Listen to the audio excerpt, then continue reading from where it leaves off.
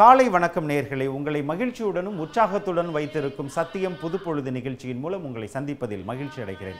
முதலில் ஒரு மனிதனின் ஆளுமை என்றால் என்ன ஆளுமை திறன் என்றால் என்ன என்பதை நம்முடன் பகிர்ந்து கொள்கிறார் நந்தகுமார். ஹலோ என்ஜாயபிள் மார்னிங் ஏன்னா டே பாருங்கள் எவ்வளோ ப்ளசண்ட்டாக இருக்குது பாருங்கள் மார்னிங்க இல்லை நம்ம இந்த விஷுவல் இன்டெலிஜென்ஸ் பற்றி பேசணும் வேர்பல் இன்டெலிஜென்ஸ் பற்றி பேசணும் எமோஷனல் இன்டெலிஜென்ஸ் பற்றி பேசணும் அப்புறம் சோஷியல் இன்டெலிஜென்ஸ் பற்றி பேசுகிறோம் இன்றைக்கி கடைசியாக என்னன்னு பார்த்தீங்கன்னு வச்சுக்கோங்களேன். இந்த interpersonal intelligence and intrapersonal intelligence அப்படின்னு. அதாவது ஒரு சில பேர் வந்து பீப்புள் ஸ்மார்ட் அப்படின்னு. அவங்களுக்கு வந்து நான் சொன்னேன் இப்போ ஒரு சில பேர் வந்து எல்லாருக்கும் அவங்க அவங்கள எல்லாருக்குமே பிடிக்கும். அவங்கள ஏன் பிடிக்கும் அப்படின்னு நமக்கு தெரியாது. அவங்கள எல்லாருக்குமே பிடிக்கும். அவங்கள வந்து பீப்புள் ஸ்மார்ட் அப்படின்னு சொல்லுவோம் நம்மளை. இன்னொருத்தவங்க வந்து பார்த்தீங்கன்னா செல்ஃப் ஸ்மார்ட் செல்ஃப் ஸ்மார்ட் அப்படின்றது வந்து இன்ட்ரா பர்சனல் அதாவது ஒரு ஆளுமையை பற்றி அதாவது என்னை பற்றி எனக்கு புரிஞ்சு வச்சுக்கிறது. என்னை பற்றி என்ன நான் புரிஞ்சு வச்சுக்கிறது அப்படின்ற அந்த விஷயம்தான் இன்ட்ரா பர்சனல் இன்டெலிஜென்ஸா இன்ட்ரா பர்சனல் அப்படி இன்டெலிஜென்ஸ் சொல்கிறது இன்ட்ரா பர்சனல் அப்படின்றது மற்றவங்களை புரிஞ்சு வச்சுக்கிட்டு அவங்களுக்கு ஏற்ற மாதிரி நாம் நடந்துக்கிற விஷயம் பேர் வந்து இன்டர் பர்சனல் அப்படின்னு. ஏன்னா அந்த விஷயமும் தேவை. இன்ட்ரா பர்சனல் இன்டெலிஜென்ஸு என்னை பற்றி நான் புரிஞ்சு வச்சுக்கிறது அப்படின்றதையும் தேவை. ஏன்னா மற்றவங்கள புரிஞ்சுக்கல அப்படின்னா நம்ம மற்றவங்ககிட்ட அவங்கள எப்படி நடந்துக்கிறது அப்படின்னு நம்மளுக்கு தெரியாமல் போயிடும். என்னை பற்றி நான் புரிஞ்சுக்கல அப்படின்னா மற்றவங்க என்னை பற்றி எப்படி புரிஞ்சு வச்சுக்கிறாங்க மற்றவங்க எப்படி புரிஞ்சு வச்சுக்கிறாங்க அப்படின்றத தவிர்த்து நான் என்ன நானே எப்படி புரிஞ்சு வச்சுக்கிறேன் அப்படின்றத நிறைய பேருக்கு தெரியறதில்ல. இன்றைக்கி நிறைய டேலண்ட்ஸு சைக்காலஜிஸ்ட்லாம் வந்து பார்த்திங்கன்னா நீங்கள் வந்து நிறைய சைக்காலஜிஸ்ட்டு சைக்கியாட்ரிஸ்ட்டு ஃபிலாசபர்ஸு அப்புறம் ஈவன் பெரிய ஸ்பிரிச்சுவல் லீடர்ஸ்லாம் வந்து பார்த்திங்கன்னா அவங்கெல்லாம் இன்றைக்கி பெரிய ஆளுங்களாக இருக்கிறதுக்கு முக்கியமான காரணம் அவங்கள பற்றி அவங்க புரிஞ்சு வச்சுருக்காங்க. அதனால தான் வந்து பார்த்திங்கன்னா அவங்கள தன்னை உணருதல். சி செல்ஃப் ரியலைசேஷன் இன்றைக்கி யோகாவில் கூட அவங்கள நம்மளை வந்து பார்த்திங்கன்னா uh, கண்ணை மூடிட்டு சவாசனத்தில் அப்படியே ரிலாக்ஸ்டாக உட்கார சொல்லுவாங்க. அப்போ சொல்லுவாங்களே உங்கள் தலையை கவனிங்க உங்கள் உங்கள் நெத்தி பகுதி கவனிங்க. அப்படின்னு சொல்லும்போது நாம் வந்து நம்மளை வந்து நம்மளை அப்சர்வ் பண்ணுவோம் அப்படியே. கண்ணை மூடிட்டு அப்படியே நம்மளை அப்சர்வ் பண்ணும்போது அப்போ தான் தெரியும். நம்ம பாடியில் வந்து பார்த்திங்கன்னா எத்தனை உள்ளுறுப்புகள்? அந்த உள்ளுறுப்புகளில் இருக்கிற அதோடைய அந்த அது உள்ள மூச்சு போயிட்டு உள்ளே போயிட்டு வெளியில் வரும்போது நாம் நம்மளை வந்து செல்ஃப் ரியலைஸ் பண்ணும்போது அப்போ தான் நமக்கு தெரியும். அது வந்து எக்ஸ்டர்னலாக ஃபிசிக்கலாக நீங்கள் அப்சர்வ் பண்ணுறது பட் ஆளுமை ரீதியாக ஆளுமை ரீதியாக நம்மளை அப்சர்வ் பண்ணுற இந்த விஷயம் அது ரொம்ப முக்கியமான விஷயம். அப்படி அப்சர்வ் பண்ணும்போது அந்த இன்டெலிஜென்ஸ் வந்து பார்த்திங்கன்னா உங்களுக்கு ரொம்ப ரொம்ப முக்கியமான ஏன்னா அதுதான் உங்களுக்கு வளருதா இல்லையா? உங்களுடைய ஆளுமை வளருதா இல்லையா? அப்படின்றது எப்படி உங்களுக்கு தெரியும்? ஏன்னா ஆள் வளர்ந்துட்டுருக்கோம். ஆள் தான் வளர்ந்துருக்கு அப்படின்னு சொல்லுவாங்களே அறிவு வளர்ந்துருக்காடா அப்படின்னு திட்டுவாங்கல்ல. அதுதான் அது வேற ஒன்றும் இல்லை. நல்ல ஆள் வளர்ந்துருக்கான் அறிவு தானே வளரல அப்படின்னு சொல்லி திட்டும் பொழுது அந்த அறிவு வளர்ச்சி அப்படின்ற அந்த விஷயத்த யார் யார் சொல்கிறது ஏன்னா யாராவது கூப்பிட்டு சொல்லுவாங்களா? டேய் உனக்கு பயங்கர அறிவிடா அப்படின்னு சொன்னாங்கன்னா அது வெறும் வாய் வார்த்தை. மஞ்ச புகழ்ச்சி அணியாக கூட இருக்கலாம். பட் எந்த அளவுக்கு நாம் இன்ட்ரா பர்சனல் நாம் அறிவு ரீதியாக வளர்ந்துருக்கோம் அப்படின்றத எப்படி தெரிஞ்சுக்கிறது அப்படின்னு? அதெல்லாம் நிறைய தடவை நான் அடிக்கடி சொல்கிறது உண்டு. படிக்கிற படிப்பாளிகள்லாம் அறிவாளிகளா அப்படின்னு. ஏன்னா நம்ம இன்றைக்கி வந்து ஒரு சில பேருக்கெல்லாம் வந்து பார்த்திங்கன்னா அவங்களுக்குலாம் நிறைய படிச்சிருக்காங்க. எம்ஃபில் பிஹெச்டி இன்ஜினியரிங் கிராஜுவேட்ஸ் எல்லாமே வந்து பார்த்திங்கன்னா நிறைய இன்ஜினியரிங் கிராஜுவேட்ஸ் இருக்கிறாங்க. நிறைய டாக்டர்ஸ் இருக்காங்க. அவங்களாம் நல்லா நல்லா நல்லா படிச்சிருக்காங்க. பட் அந்த படிப்பாளிகள் எல்லாமே அவங்க எல்லாமே அறிவாளிகளா அப்படின்னு. எப்போ இந்த படிப்பு வந்து நம்ம நம்மளுடைய நம்ம அதை புரிஞ்சுக்கிட்டு அதை நம்ம எப்போ புரிஞ்சுக்கிட்டு அதை பயன்படுத்த ஆரம்பிக்கிறோமோ அப்போ தான் அது அறிவாகுது. நான் இதை முன்னாடியே நம்ம இதை பேசியிருக்கோம். ஸோ அந்த அறிவு வளர்ச்சி அறிவு வளர்ச்சி அப்படின்றது நம்ம எவ்வளோ அறிவு வச்சுருக்கோம் அப்படின்றது அது இன்ட்ரா பர்சனல் இன்டெலிஜென்ஸ் கிடையாது. அந்த அறிவை நம்மளுடைய அன்றாட வாழ்க்கைக்கு எப்படி பயன்படுத்துகிறோம் எப்படி பயன்படுத்துகிறோம் அப்படின்னு? நான் அடிக்கடி சொல்லியிருக்கேன் இல்லையா உங்களுக்கு? நம்ம uh, ஒரு எலக்ட்ரிக்கல் இன்ஜினியராக இருப்போம். ஆனால் நம்ம வீட்டில் ஃபியூஸ் போயிடுச்சுன்னா யாராவது ஒரு படிக்காத ஒரு எலக்ட்ரீஷியனை கூப்பிட்டு ஃபியூஸ் போட சொல்கிறது நம்ம பைக் ரிப்பேர் ஆகிருக்கும் நான் மெக்கானிக்கல் இன்ஜினியராக இருப்பேன். ஆனால் அதை மெக்கானிக் ஷெட் வரைக்கும் தூக்கிட்டு போயிட்டு அங்கே நம்ம வந்து மெக்கானிக்கல் இன்ஜினியரிங்கை பற்றி ஒரு ஒரு அவங்களுக்கு ஒரு ஒரு அவங்களுக்கு ஒன்றும் பெருசாக படிப்பறிவே இருக்காது. பட் இருந்தாலும் அவங்கள அவங்கள ரிப்பேர் பண்ண வைக்கிறது.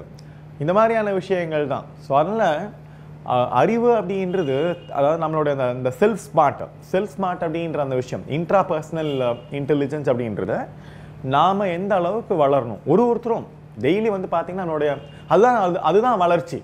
அதுதான் நம்மளுடைய அந்த அந்த ஆளுமை வளர்ச்சி அப்படின்றது. நான் இன்னைக்கு நேற்று இருந்ததை விட இன்னைக்கு என்னுடைய அந்த அறிவு வளர்ச்சி அறிவு முதிர்ச்சி அது எல்லாருக்குமே கட்டாயமாக இருக்கணும். இன்டர்பர்சனல் ரிலேஷன்ஷிப்பும் அந்த மாதிரி தான் நாம் ஒரு ரிலேஷன்ஷிப்பில் வந்து பார்த்திங்கன்னா அதில் அதில் டெவலப்மெண்ட் இருக்கணும்ல ஒரு சில பேருக்கு வந்து பார்த்திங்கன்னா அதான் வந்து பார்த்தீங்கன்னா அந்த ரிலேஷன்ஷிப்பில் போர் அடிச்சிடும் என்னடா அது அப்படின்னு. ஸோ அந்த போர் அடிச்சதுனா என்ன பண்ணுவாங்கன்னா அந்த ரிலேஷன்ஷிப் வந்து பார்த்திங்கன்னா போ போக வந்து அவங்களுக்கு அதில் இன்ட்ரெஸ்டிங் இன்ட்ரெஸ்ட் இருக்காது. இல்லைன்னா அது கசந்துரும். இல்லைன்னா அதில் வந்து பார்த்திங்கன்னா ஒரு ஒரு மியூச்சுவல் அண்டர்ஸ்டாண்டிங் இருக்காது. அந்த அண்டர்ஸ்டாண்டிங் இல்லாதனால என்ன பண்ணுவாங்கன்னா அதில் கிவ் அண்ட் டேக் இருக்காது. அந்த ஆளுமை அந்த மற்ற அவங்க கிட்டேருந்து நம்ம லேர்ன் பண்ணிக்கவும் மாட்டோம். அதில் வந்து பார்த்தீங்கன்னா வெர்பல் நான் வெர்பல் சொல்லுவாங்க. அதாவது நம்ம ஃப்ரெண்டு சோகமாக இருக்கான் அப்படின்னா ஏன் சோகமாக இருக்கான் அப்படின்றத புரிஞ்சுக்கிறதே ஒரு இன்டெலிஜென்ஸ் தான். அவன் வாயை விட்டு தான் சொல்லணும் அப்படின்னு கிடையாது. நான் நிறைய பேர் அடிக்கடி சொல்கிறது உண்டு. அதனால வந்து பார்த்தீங்கன்னா நம்ம வீட்டில் அவங்க வந்து நம்மளோட அப்பாவோ அம்மாவோ இல்லை ஒய்ஃபோ தம்பியோ தங்கச்சியோ அவங்களுடைய பிரச்சனைகளை அவங்க வாய் மூர்த்த வாய் வார்த்தை மூலயமா சொல்லி தான் அதை புரிஞ்சுக்கணும் அப்படின்னா அது இன்டர்பர்சனல் இன்டெலிஜென்ஸே கிடையாது. அவங்க சொல்லலைனாலும் அவங்களுடைய அவங்களுடைய அந்த நான் வெர்பல் பாடி லாங்குவேஜ் வச்சு யார் ஒருத்தர் புரிஞ்சுக்கிறாங்களோ அவங்களுக்கு தான் இந்த இன்டர்பர்சனல் இன்டெலிஜென்ஸ் இருக்குது. நம்மளுக்கு எத்தனை பேருக்கு இருக்குது சொன்னால் தான் நம்ம என்ன ஆடா மாடா? எல்லா விஷயங்களும் இந்த மாதிரி வந்து சொல்லாமே வந்து ஸோ சொ அதை வந்து சொல்லாமே புரிஞ்சுக்கணும் எல்லாருமே. ஸோ வந்து யார் ஒருத்தருக்கு வந்து பார்த்திங்கன்னா வார்த்தைகள் மூலயமா புரிஞ்சுக்கிறது மட்டும் இல்லாமல் நான் வெர்பல் மூலியமாகவும் இந்த இன்டர்பர்சனல் ரிலேஷன்ஷிப்பில் இன்டெலிஜென்ஸில் ரொம்ப முக்கியமான விஷயம் அதுதான். அதெல்லாம் வந்து பார்த்திங்கன்னா எல்லாருக்குமே வந்து லவ் பண்ணுற வரைக்கும் அவங்க வந்து நிறைய அண்டர்ஸ்டாண்டிங் இருக்கும். பட் லவ் பண்ணி கல்யாணம் ஆனதுக்கப்புறம் அவங்களோட அண்டர்ஸ்டாண்டிங் லெவல் ஆட்டோமேட்டிக்காக குறைஞ்சு போயிடுது. அதனால வந்து பார்த்தீங்கன்னா இன்றைக்கி ஃபேமிலி ரிலேஷன்ஷிப்பில் நிறைய ப்ராப்ளம் வர ஆரம்பிக்கிறது. அது காரணம் என்ன பார்த்தீங்கன்னா இந்த இன்டர்பர்சனல் இன்டெலிஜென்ஸு இந்த இன்டர்பர்சனல் இன்டெலிஜென்ஸ் எல்லாருக்குமே எனக்கும் என்னோடய ஒய்ஃப்க்கும் அடிக்கடிக்கு சண்டை வரதான் செய்யுது. யாருக்கும் தான் சண்டை வராமல் இருக்குது பட் இருந்தாலும் அது ஏன் வருது அப்படின்ற ஒரு அண்டர்ஸ்டாண்டிங்கை நம்ம நம்ம டெவலப் பண்ணிக்க வேண்டியதாக இருக்குது அதுக்கேற்ற மாதிரி நம்மளும் அட்ஜஸ்ட் பண்ண வேண்டியதாக இருக்குது ஸோ எல்லாருக்குமே அதே மாதிரி தான் so interpersonal relationship intrapersonal relationship இது ரெண்டுமே அதாவது நான் செல்ஃப் ஸ்மார்ட்டாகவும் இருக்கணும் பீப்புள் ஸ்மார்ட்டாகவும் இருக்கணும். இது ரெண்டுமே யாருக்கு இருக்கோ உள்புறமாகவும் வெளிப்புறமாகவும் அவங்களுடைய அந்த இன்டெலிஜென்ஸ் வந்து வளர்கிறதுக்கான சாத்தியக்கூறு அதிகமாக இருக்குது ஸோ இன்டர்பர்சனல் ரிலேஷன்ஷிப்பை இன்டர்பர்சனல் இன்டெலிஜென்ஸை டெவலப் பண்ணிக்கோங்க. இன்ட்ரா பர்சனல் இன்டெலிஜென்ஸும் டெவலப் பண்ணிக்கோங்க. அப்படி டெவலப் பண்ணிட்டீங்க அப்படின்னா உங்களை பற்றி நீங்கள் புரிஞ்சு வச்சுக்கிட்டு இருக்கீங்க. மற்றவங்கள பற்றியும் நீங்கள் புரிஞ்சு வச்சுக்கிட்டு இருக்கீங்க. அந்த அறிவு உங்களை நிறைய தூரத்துக்கு ரொம்ப லாங் டிஸ்டன்ஸ்க்கு உங்களோட லைஃப்பை உங்களோட கெரியரை ரொம்ப அழகாக லீட் பண்ணிகிட்டே போகும். அப்படி அப்படி ஒரு இன்டெலிஜென்ஸ் நம்மளுக்கு கொஞ்சம் இல்லை அப்படின்னு நீங்கள் ஃபீல் பண்ணுறீங்கன்னு வச்சுக்கோங்களேன். யாரோட அது பேசி அதை அதை டெவலப் பண்ணுங்கள் ஏன்னா நிறைய இருக்குது இன்றைக்கி வெப்சைட்டில் போயிட்டு நீங்கள் டெவலப் பண்ணி நீங்கள் சும்மா வெப்சைட்டில் போயிட்டு சும்மா அடிச்சு பாருங்கள் இன்ட்ரா பர்சனல் இன்டெலிஜென்ஸ் அடிங்களேன். அதை பற்றி எக்கச்சக்கமான விஷயங்கள் வருது. அதை வச்சு தான் நான் கூட அடிக்கடிக்கு இன்டர்வியூலலாம் நிறைய பேர் ப்ரொஃபைலை ரெடி பண்ணுவாங்க. அதாவது கரிக்குலம் வைட்டேன்னு சொல்லி என்கிட்ட ஏதாவது ஒரு வேலையை கேட்கும்போது நான் கேட்பேன். அவன் ஈசின்னு சொல்லி என்கிட்ட சொல்லுவான் அண்ணே நான் ஈசி முடிச்சிருக்கேன். இல்லை அங்கிள் ஈசி முடிச்சிருக்கேன். ஏதாவது ஒரு வேலை பார்த்து கொடுங்க அப்படின்னு. நான் கேட்பேன் அடிக்கடிக்கு. அந்த பசங்கிட்டெல்லாம் சரிடா ஈசி முடிச்சிருக்கல்ல. ஏதாவது ஒரு நாலு உன் உன்னு உன்னுடைய உன்னோட குவாலிஃபிகேஷனுக்கு ஏற்ற மாதிரி ஒரு நாலு நாலு கம்பெனி சொல்கிறா அப்படின்னு நாலு கம்பெனி சொல்கிறா அப்படின்னு. அவன் அப்போ தான் திரு திருன்னு தலையை சொல்லிட்டு இருப்பான்.